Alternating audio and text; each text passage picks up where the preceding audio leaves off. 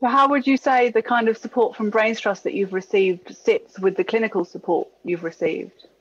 It was very interesting because it's about expectations, and it's only coming to because I didn't know what to expect.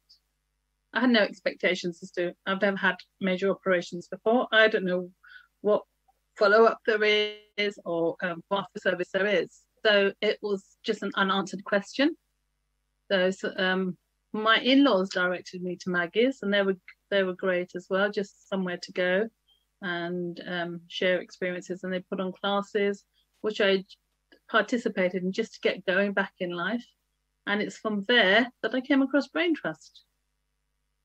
And it was obviously the right time when I phoned you last year that I was ready to take on board because you know early days after the operation there's you're still very raw and you're still healing. So you have to be able to take these things on board.